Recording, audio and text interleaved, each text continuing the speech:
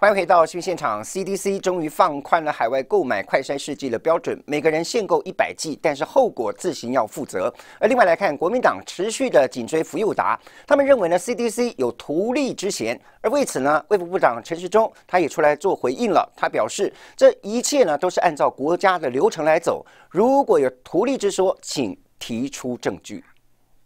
包括是不用费用，那我们对数量的规定就是每个人。限一次的申请，总量不超过一百剂，那时间就是到今年的六月三十日为止。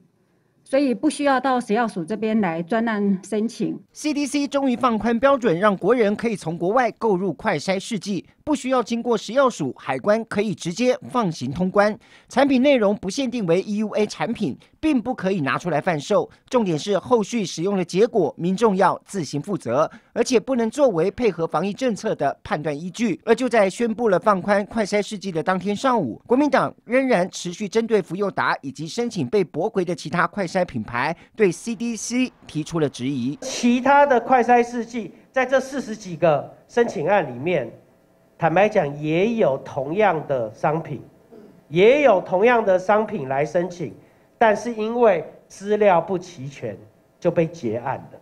徐宏庭质疑四十家唾液快筛试剂没有办法通过审核，却唯独韩国制造的福佑达能够火速通过，有图利之疑虑。指挥中心指挥官陈时中也在当天下午防疫记者会中对外驳斥，绝无此事。厂商来申请药物也好，疫苗也好，或者到快筛也好，哦，都有很多种。那有些被接受，有些被驳回，有些要求补件。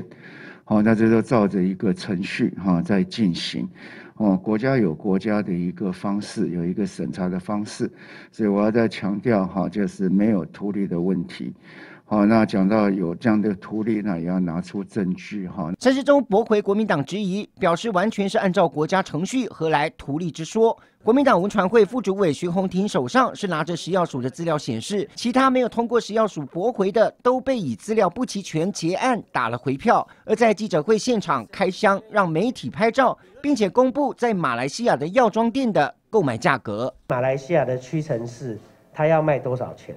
十五块马币，马币现在的汇率是六点七六，所以十五块乘以六点七六，就是福佑达这个脱衣。韩国的 G m a 的脱衣快筛在市场上公开贩售的价格，这个价格是一百块啊。随着目前台湾确诊人数暴增，快筛剂的使用量严重的供低于求，不仅在野党公开呼吁，执政党县市首长，包括郑文灿，还有基隆市长林佑昌，也透过脸书呼吁指挥中心应该快一点、多一点，避免民怨四起而乱了脚步。我目前完全靠中央配合，所以不会。应该不会剩余啦，现在都是短缺的状态，啊，所以我希望中央配付也能够快一点、多一点。人间卫视张玉成、郑仁宗台北采访报道。